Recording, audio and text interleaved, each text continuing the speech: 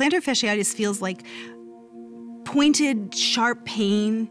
It just hurts all the time. It, it feels like it feels like your foot is squeezing on itself. When I drove past the Good Feet store, I thought, I'm just, I'm gonna stop in. They wanted to make sure that they gave me the right arch support for my feet that were personally fitted just for me. Then it was like, okay, this is something special. These make a difference. See for yourself with a free personalized arch support fitting at the Good Feet store.